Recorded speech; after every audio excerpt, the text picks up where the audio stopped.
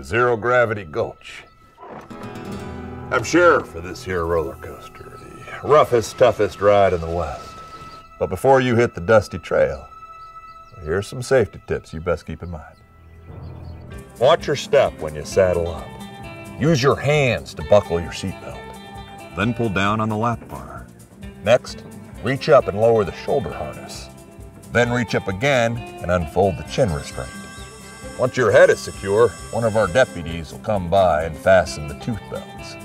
When you reach the shift supervisor deputy, pull up on the orange and green straps, not the red. All cowpokes must be between 46 and 112 inches to ride. Guests with disabilities should see a ride attendant who will escort them to Fort Special.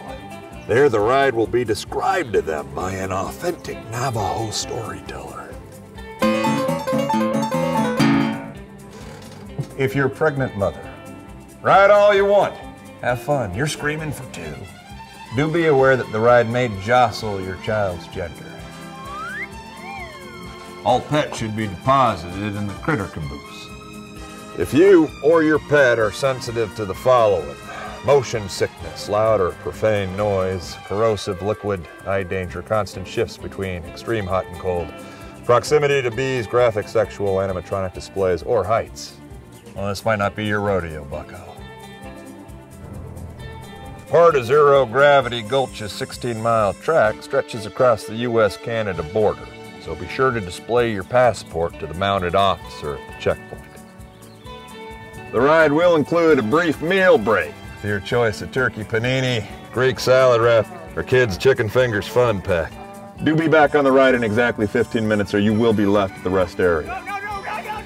If your train is stuck for more than seven days, please elect a coaster chief who will hunt and ration food and women. Well, looks like it's time for y'all to mosey on out of here. Just keep those few simple rules in mind and it should be smooth sailing to the next station, where I'll have more instruction for you. Until then, y'all be safe. Oh, and one more thing. Have a good time. Oh, and one more thing. Ride may cause a big smile on your face. And spinal trauma and anal leakage.